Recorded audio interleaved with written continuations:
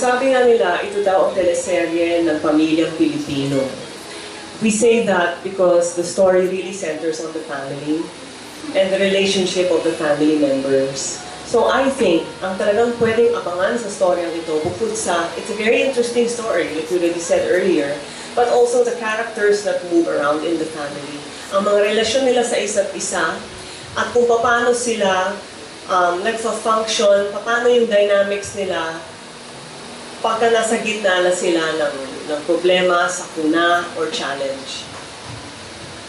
It's interesting to see na hindi lang ang mag-asawa ang nagkakaroon ng problema. Kapag ka merong trahedya na nangyari sa pamilya, apektado pati ang mga anak. At kung ang isang anak ang naging cause ng tragedy no, sa pamilya, paano nagre-react ang mga magkakapatid? Nagkakaroon ng sisihan, nagkakaroon ng, ng um, sa mga sumbatan, ano ang ginagawa ng mga anak sa kanilang mga magulang para makatulong? Or how do they help each other cope with the with the loss in the family? These are things that are interesting to see. And I think would be very nice for us to watch again.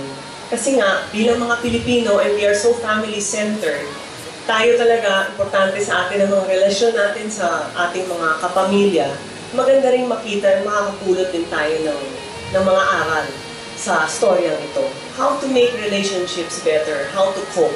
And it it makes you ask yourself that question also. What are you made of when you are faced with a big challenge or a loss, a tragedy as big as this? How, anong karakter mo, doon lumalabas ang karakter kasi ng tao, ang totoong karakter. So, itong mga tanong na ito, ang, these are the things that are going to crop up in everybody's minds pag pinanood nila yung teleserye nito. You're my home, and together we share this love for us to be happy